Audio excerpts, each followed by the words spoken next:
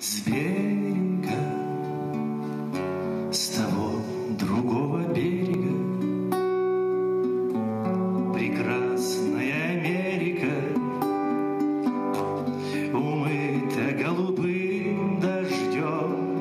Америкой мы восхищаемся, возмущаемся, мечтаем о ней и ее же проклинаем. У нас даже фразеологизмы есть об этой стране. Когда человек говорит что-то банальное, то, что всем давно известно, про него можно сказать так, ну, открыл Америку. И действительно, что такого свежего в открытии Америки? Ведь этому событию уже более пяти веков. А между тем, тут есть одна интрига, о которой знают далеко не все. Америку открыл Колумб. Это известно даже детям. Кто и как открыл Америку? Ого! Северную или какую? Южную? Америку открыл Кристофор Колумб.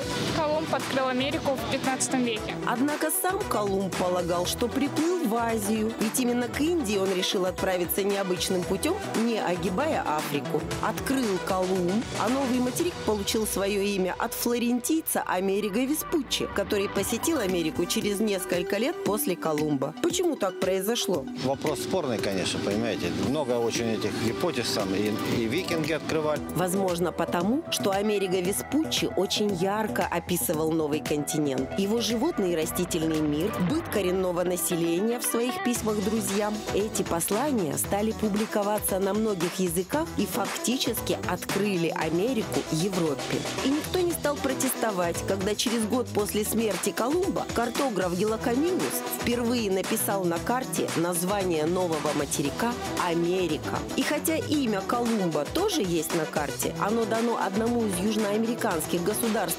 Колумбии, все равно ощущение исторической несправедливости остается. Мне все равно, мне дают, я это учу.